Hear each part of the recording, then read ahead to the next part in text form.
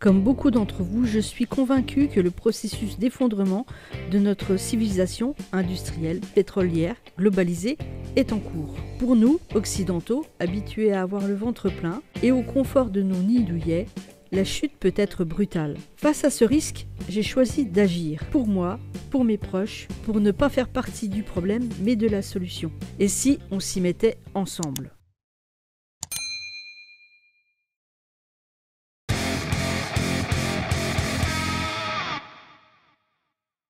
Avant d'entrer dans le vif du sujet, je tiens à préciser que l'exemple que je donne ici est un exemple indicatif. Chaque préparation dépend de qui vous êtes, où vous êtes, ce que vous faites. Ceci étant dit, je vais vous donner quelques éléments de contexte pour comprendre ma logique. Je vis à la campagne dans une commune de 300 habitants dans laquelle il n'y a aucun commerce, pas même un café. La bourgade la plus proche, qui comprend une pharmacie, une boulangerie, un petit commerce, des médecins, est à 3 km. La ville où se situe mon lieu de travail est quant à elle à une quinzaine de kilomètres de mon domicile. C'est une ville moyenne d'environ 20 000 habitants. Il y a aujourd'hui trois choses qui m'amènent à me déplacer. Le premier, c'est mon travail. Je dois m'y rendre tous les jours de la semaine, du lundi au vendredi. La seconde chose, c'est le ravitaillement. Il faut bien que je ramène des denrées alimentaires à la maison. Et la troisième chose, eh bien, c'est la santé. Il faut que je puisse consulter les médecins, acheter les médicaments nécessaires à, euh, eh bien, à mon bien-être. En mode normal, il n'y a pas de problème. Je prends ma Fiat et roule les jeunesse. Les autres solutions alternatives sont euh, le bus. Hein. Il y a deux bus qui passent dans la journée. Euh, l'autostop, et puis euh, le covoiturage. Imaginons maintenant que la situation se dégrade et qu'il n'y ait plus d'essence à la pompe.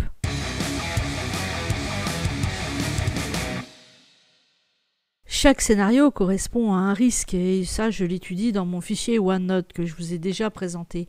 Donc la pénurie d'essence, moi je l'ai classée en risque de niveau 2, c'est-à-dire sans gravité et euh, moyennement fréquent, assez peu fréquent. Par rapport à ce risque, j'ai mis en place des stratégies. Donc la première est d'avoir un petit stock euh, d'essence et puis euh, la seconde d'avoir un vélo pour me déplacer. Je vous montre un petit peu ce fichier pour vous en donner un petit aperçu les plus jeunes peuvent se dire que ça n'arrivera pas. Mais euh, pour nous qui avons un peu d'expérience, on a déjà connu hein, ça. Je sais plus quelle année et quelle grève, mais en tout cas, on s'était retrouvé à un moment donné à devoir faire la queue aux stations-service pour faire le plein. À partir de ce moment-là, moi, je me suis dit, il faut mettre en place euh, une stratégie pour euh, plus se retrouver dans ce type de situation. En ce moment, en Grande-Bretagne, c'est exactement ce qui se passe. Il n'y a plus de chauffeurs routiers, donc les stations-service ne sont pas approvisionnées. Du coup, bah, c'est une vraie galère pour les gens pour aller au boulot. Si vous êtes urbain et que vous vous apprêtez à vivre à la campagne, je vous invite vraiment à réfléchir sur cette question distance euh, travail-domicile parce que euh, c'est vraiment important. Moi, ça fait partie vraiment des critères pour euh, trouver ma maison actuelle.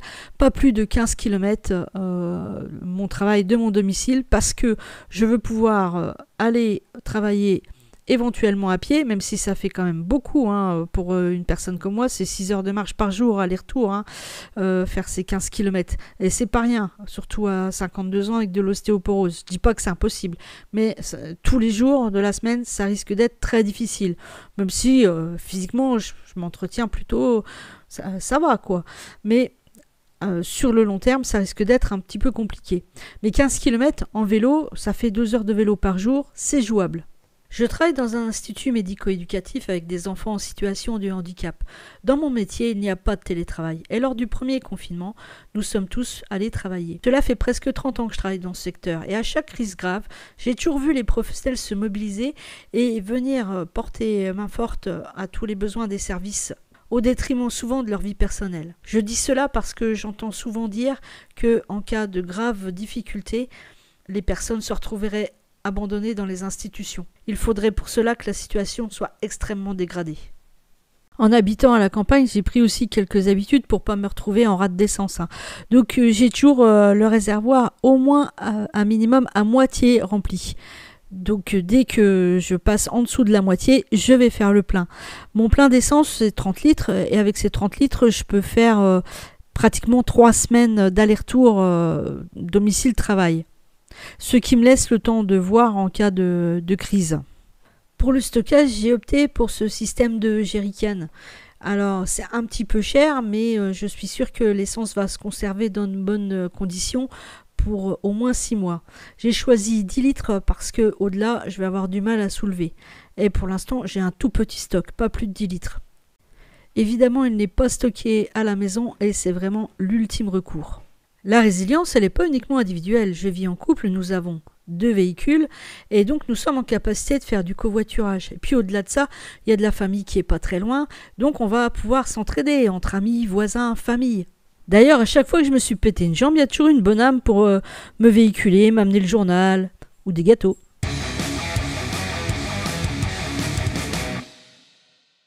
Imaginons maintenant que la pénurie s'installe pour de bon, vraiment.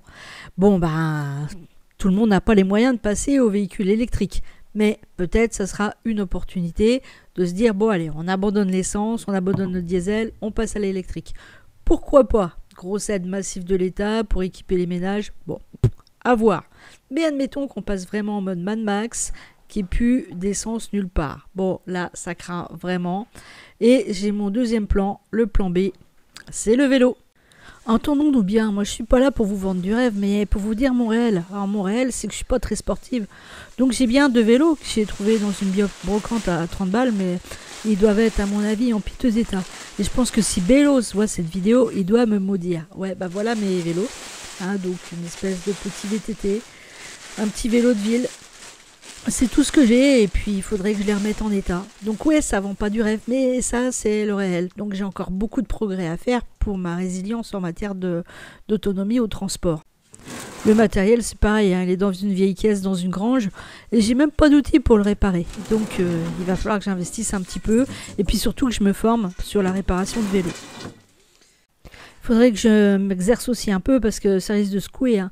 Mais il y a toujours quelque chose qui va pas. Il fait trop chaud, il fait trois fois, puis j'ai poney. Une des questions que je me pose actuellement, est-ce que ça vaudrait le coup d'acquérir un vélo électrique? Sachant que j'ai des panneaux solaires à la maison, donc j'aurais possibilité éventuellement de recharger les batteries.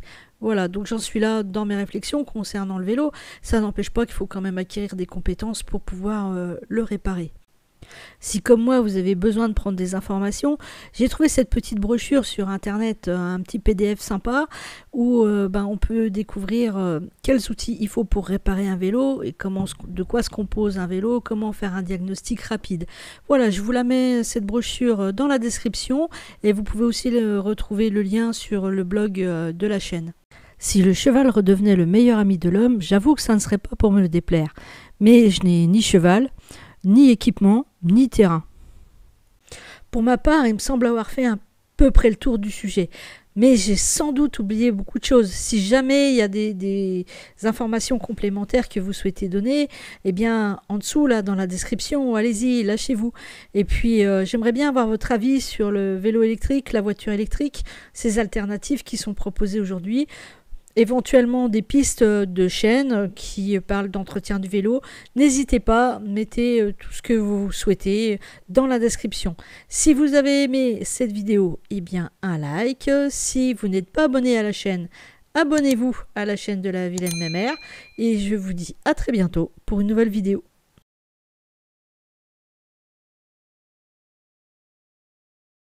Pour me rendre à mon bureau, j'avais acheté une auto, une jolie traction avant qui filait comme le vent.